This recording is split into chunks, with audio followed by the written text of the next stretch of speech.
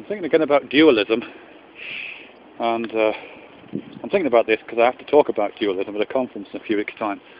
Uh, and I think I know what I'm going to say, but I'm just kicking ideas around really. But one of the things I'm thinking about now is um, is how dualism might be kind of reinterpreted, or how I might reinterpret dualism for my own purposes. Because uh, I think traditional understandings of dualism, uh, those ones that are given it a kind of bad name, the metaphysical understandings of it, uh, are ones that come out of substance dualism, which distinguish between you know what used to be soul and body, or what used to be um, yeah that that kind of language, and which now might be called something like body and mind, or brain and mind even, or in some cases maybe even just brain and consciousness. There's a sense in which one of those terms is uh, is uh, is given a kind of metaphysical status as, as, as, different stuff. And even when we know it's not true, it's still kind of we still talk as if it feels like that. And I guess it does feel like that.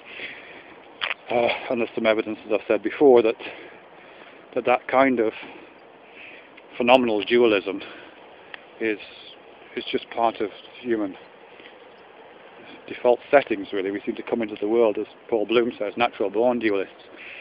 Um, so I'm just thinking what clearly the um, that uh, sort of extended, unextended matter spirit kind of um, duality is, is, is not very useful, is untenable.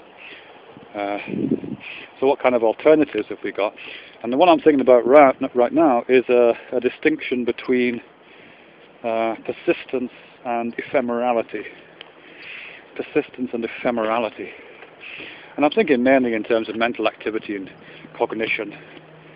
Um, yeah, the conscious and non-conscious processes that go on in our psyche, which are constantly putting ourselves in the world, constantly giving ourselves the sense that we are the centre of our own experiences, constantly claiming a, a subject, a subjectivity for ourselves, constantly setting up relationships of subject-object to entities outside of ourselves, and indeed with the contents of our own thoughts. So we seem to be able to distance ourselves from our own ideas. All those kind of uh, practices are ultimately dualist. So what's the so is there a kind of persistence and ephemerality dualism, which can, if not account for that, then at least can give it some kind of um, material logic. I mean, certainly ephemerality is absolutely part of human experience. Uh, I read somewhere that every single cell in our body, every single molecule in our body, uh, is kind of replaced every seven years or so. This constant flow of food and substances through our bodies. Our hair falls out, our fingernails are constantly growing and being clipped, skin cells constantly shedding all over the place, uh, blood cells being replaced by the million every day, uh, lining of our gut changing every few hours. So there's lots and lots of um, change, which I think I've described before as a kind of fountain, so we have this constant uh, material flow through us but also um, the contents of our consciousness is constantly changing. Uh, I'm trying to keep a steady train of thought going, but uh, I'm aware that my thoughts are flickering across all sorts of different things, like a monkey jumping around in there. Uh, so there's no, there's no consistency, there's no persistence, uh, other than the one I'm striving and failing to catch in my thoughts.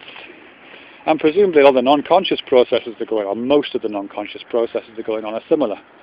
Um, as I'm walking across this field, the, uh, the impact of the ground on the soles of my feet is changing on a moment-to-moment basis. The, uh, the uh, balance, uh, sensors in my body and the, the sensors in my joints are constantly providing slightly different information, keeping me upright. But that moment-to-moment information is changing, the sounds that are coming through my ears, so all the sensory information, or most of the sensory information that I'm engaged with, engaged in relation to, is changing. That's all ephemeral. So So most, all things change, all things must pass, whatever, that kind of stuff.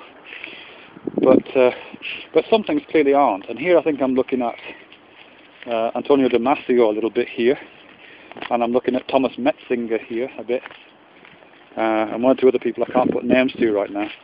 And what, uh, what's claimed in some of that writing is a, is a, a kind of embodied notion of persistence to do with body image, to do with the kind of phenomenal um, interior body model.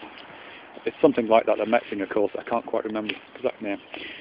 But uh, what he talks about in there, which I think also features in uh, other writings to do with image schemas and to do with body schemas, is that whilst there's all these changes going on and we're constantly in a, a state of flux, some things don't change or change or the change is so incremental and so small that it may as well not be changed at all. So Damasio, I think, talks about it in terms of the, um, well, almost the bodily fluids, I think he's talking about. The kinds of uh, biochemical information that's being sent to our brain from the from our gut and from our uh, the various glands and, and organs of our body it's, constantly sending this information, which is modulating slightly according to what we interpret as our emotional state. But uh, but there's a constant kind of I'm still alive signal going on now. I'm still alive. The blood is still flowing signal going on. A kind of carrier frequency against which the modulations of that are measured. Uh, I think Metzinger or somebody else, it's not Metzinger actually, Metzinger cites this other idea which is related to that, but it's to do with proprioception, which is what I said a minute ago, to do with uh, our sense of balance, the sense of um, where our arms and legs are in space, all our spatial orientation. Uh, but in amongst that kind of sea of quite complex information, there is a regularity, there is a regular pattern to that. And again, that pattern is constantly being sent forward sent up to the brain, if you like. I'm still here, still here, still here, still here.